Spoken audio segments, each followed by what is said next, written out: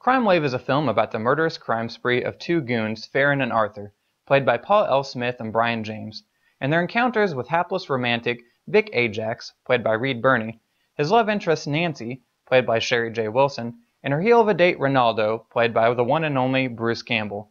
The film was directed by Sam Raimi and written by Raimi and the Coen brothers. That's right, Sam Raimi and the Coen brothers worked on a movie together. It encompasses many genres, including dark comedy, horror, film noir, and slapstick.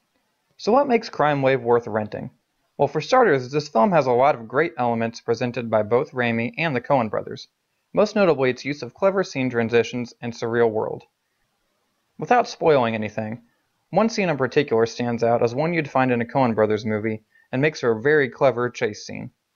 And of course it wouldn't be a true Coen brothers story without the use of Frances McDormand, although she only plays a bit role. With Raimi as the director, there are a lot of typical Raimi moments as well. There are many camera techniques used that he incorporates into his other films, most notably the first-person style zooming camera. This is a technique used to show the evil entity moving through the forest in the Evil Dead franchise. Raimi also fills the screen with plenty of slapstick. There are many scenes that feel like they came straight out of a Three Stooges short. Characters survive some crazy beatings throughout the course of the film. Despite this, some characters don't make it to the end of the movie, adding an even darker feel amongst the comedy. In fact, there's even a scene where someone stuffs a dead body into a Salvation Army donation bin. I'm still not sure if this was a Raimi or Coen Brothers joke, but either way it's comedy gold. Other Raimi elements include the classic Delta 88 making an appearance, Ted Raimi making such a quick cameo that if you blink you very well may miss him, and even a nod to Evil Dead. The most prevalent Raimi element featured in the film, however, is the use of Bruce Campbell as Ronaldo the heel. Campbell was originally planned to play the role of Vic, the dorky romantic lead, but the studio wanted someone other than him to play the role.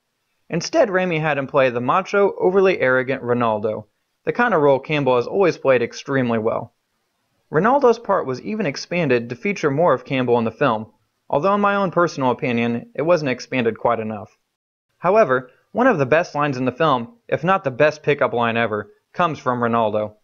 Overall, Crime Wave is an oddly enjoyable film, despite the fact that most of the cast and crew stated it was a very difficult project to work on. It has great humor and cinematography and is worth a rent. And there is a post-credit scene, just make sure you rewind the tape when you're done. And if anyone knows where to get a copy of How to Talk to Girls that was featured in the film, please let me know.